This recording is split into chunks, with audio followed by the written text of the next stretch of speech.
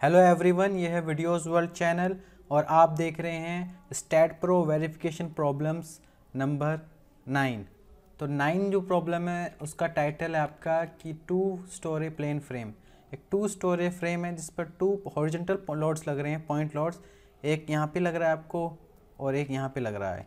और इन दोनों की वजह से जो मैक्सिमम मूवमेंट इस फ्रेम के अंदर डेवलप हो रही है, वो हमें कैलकुलेट करनी है बाय स्टैट की हेल्प से। और जो हमारा इस प्रॉब्लम का सॉल्यूशन है 176.40 किप्स फीट है। तो चलिए स्टार्ट करते हैं और सॉल्व करते हैं इस प्रॉब्लम को।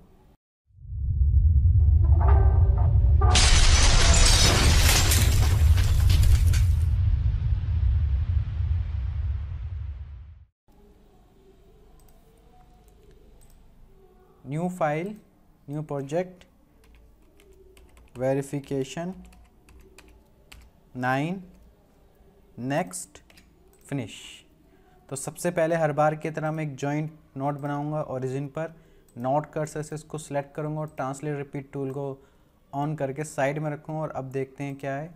तो फ़र्स्ट है आपका 20 feet 20 feet then 20 feet frame तो ये आपका है वाई डायरेक्शन में 20 feet two steps two levels का है लिंक ओके okay. अब इस मेंबर को हम सेलेक्ट करेंगे और ट्रांसलेट रिपीट टूल को लेंगे और एक्स डायरेक्शन में 20 फीट का वन स्टेप लिंक लिंक पे क्लिक करते हैं। जब वर्टिकल मेंबर को हम, जब वर्टिकल मेंबर को हम सॉरी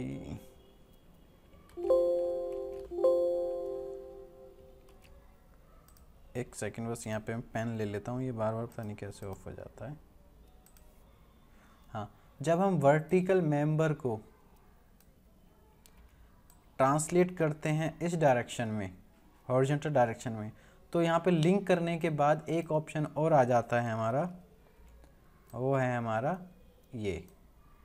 अगर आप इस पर टिक करते हैं तो जो ट्रांसलेट होगा जब तो ये यहाँ पर तो बीम बनाएगा, यहाँ पर बट ये यहाँ पर नहीं बनाएगा बेस पे। इसलिए कहते हैं इसको ओपन बेस तो लिंक ओपन बेस ओके ये बन गया हमारा फ्रेम ठीक है नेक्स्ट क्या है? ओके यहाँ पे आपका हॉर्जेंटल फोर्स लग रहा है ट्वेंटी किप्स का लग रहा है, यहाँ पे और यहाँ पे लग रहा है टेन का. ठीक है? तो जनरल लोड डेड लोड बना लेते हैं एक. ऐड क्लोज डेड लोड के अंदर ऐड करते हैं हम. नोडल लोड एक्स डायरेक्शन में एक है आपका ट्वेंटी,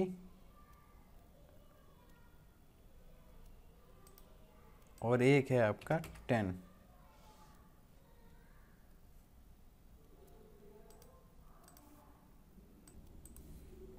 तो हमने ऐड कर लिए हैं एक, और डबल ऐड हो गया, डिलीट करते हैं। ट्वेंटी किप्स का जो हमारा लग रहा है, वो लग रहा है यहाँ पे, और टेन किप्स का लग रहा है हमारा यहाँ पे। सपोर्ट जो है हमारी वो है फिक्स। तो फिक्स सपोर्ट ऐड करते हैं। लोड लग चुका है, फिक्स सपोर्ट लग चुकी है। अब देख लेते हैं प्रॉपर्टीज़।